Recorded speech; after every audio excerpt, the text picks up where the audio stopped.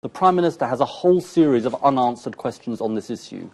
And the, the most important of those, in my view, is this question about the specific information that was passed to him by the Guardian newspaper or passed to his staff. Now, we don't yet know fully from Downing Street the chain of events, but we do know that there is an admission that Mr. Hilton, his senior aide, talked to Ian Katz of The Guardian about the specific allegations about Mr. Jonathan Rees, that he was a convicted criminal, that the Guardian had evidence that he was paying, uh, facilitating the payment of police on behalf of news organisations, uh, and that he also happened to be on trial, um, uh, on trial for a further offence. But now, as I also understand it, Mr. Hilton passed that to Mr. Llewellyn.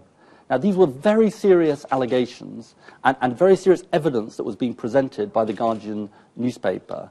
Mr. Cameron said in his press conference on Friday, I believe in answer to a question from Nick Robinson, I, I had no specific uh, information. But he did have specific information, or at least his chief of staff had specific information. He needs to now explain, because I cannot explain the version of events that Mr. Cameron has so far put forward. On the, on the so, so my point is, are you saying that he lied at that news conference?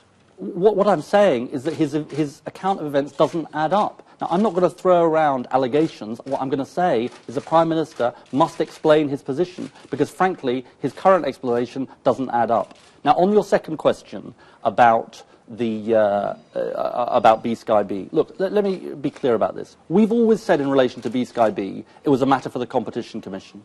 Uh, and that continued, continued to be our position. and indeed, that's what I said to the Prime Minister uh, on Wednesday of last week at Prime Minister's questions. There should be a referral uh, to the Competition Commission.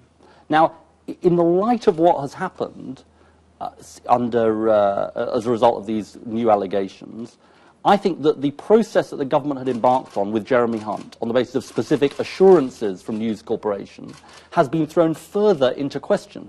It's been thrown further into question because there is such a mountain of evidence that News International gave assurances uh, about phone hacking, assurances which turned out not to be correct. There is also a second question, just let me finish the point. There's now a second question which, is, which has come into view, if you like, which is the fit and proper person test. Because the culture and practices at News International, following the revelations last week, now look to be so widespread and so systemic that I think there is an important question. And, and look, this ends up in a simple place. And the simple place is this, that I won't rest until we ensure that this deal cannot go ahead until after criminal investigations are complete.